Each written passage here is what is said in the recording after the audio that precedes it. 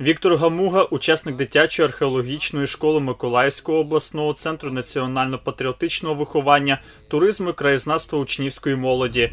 Археологічна експедиція триває у селі Вікторівка Березанського району. Хлопець у таких експедиціях бере участь вдруге. Я вважаю, що ці розкопки дуже важливі, оскільки вони несуть е, хоча б так мовити просвітницьку роль, оскільки дуже мало хто навіть в нашому Березанському районі знає про те, що тут у Вікторівці ведуться якісь розкопки. Е, Також е, ну, дуже важливо, оскільки тут можуть бути нові цікаві знахідки, тут можуть бути нові відкриття. Тобто це дуже велика територія, яка приховує в собі дуже багато цікавого. І ти ніколи не знаєш, що в тебе буде з-під кожної лопати. Чи це буде кераміка, чи це буде нічого, чи це можливо буде якийсь бронзовий меч. З 2012 року на базі археологічної експедиції в селі Вікторівка відбувається літня археологічна школа. Приїхали діти з Миколаївської області та міста Києва. Денис Бондаренко археолог і керівник літньої археологічної школи. Окрім середземноморської мушлі амулет, орієнтовно датованої 6 столітті до нашої ери, археолог розповів про інші артефакти, які знайшли під час експедиції. Сама давня монета на території України монета Стрілка, присвячення Богу Аполлону лікарю, верховному богу місцевого пантеону. Це більш пізні монети дещо. Це монети дельфіни, присвячені вже Аполлону Дельфінію. Набір вістер стріл.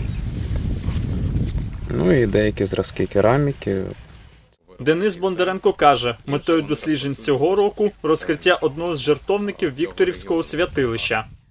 Жертовник це являє собою великий а, зольний насип перепалених жертвоприношень, це і кістки тварин, і посуд, і, можливо, навіть будуть людські поховання, як у нас було в минулих роках. Дітям дуже цікаво, тому що вони перші, от за 2,5 тисячі років після того, як цей об'єкт був закинутий, да, це святилище, поселення було лишено, вони першими, самими першими потрапляють в цю старовину, да, в ці об'єкти, в ці святилища, в ці помешкання цих людей. Звісно, це викликає в них величезні емоції, купу вражень. І, як правило, ті, хто раз приїжджають, лишаються до кінця, да, не ламаються перед дощем, там, штормом, бурею,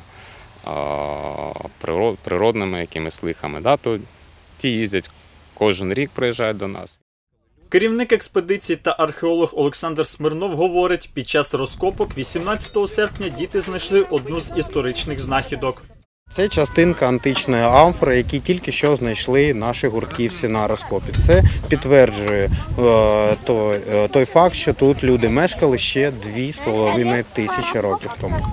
Зараз іде первинна обробка. Ми вичленяємо об'єкти, які е, потребують реставрування та консервації. Вони переїдуть до лабораторії археології, історії та модерної історії в Миколаївський національний університет, там де я працюю. Там ми ще попрацюємо з е, цими предметами, проводимо їх опис, реставрацію, а потім вже знакові предмети, які це нумізматичний, монетний матеріал, це кераміка, яка е, буде зобрана і реставрована, передасться до Миколаївського обласного краєзнавчого музею.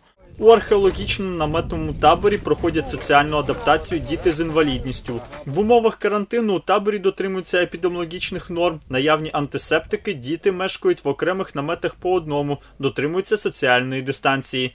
Фінансується табір за рахунок держави та благодійних внесків. Олександр Гресі, Олена Клепа, Галина Щерба, Ігор Чорний. Новини на Суспільному. Миколаїв.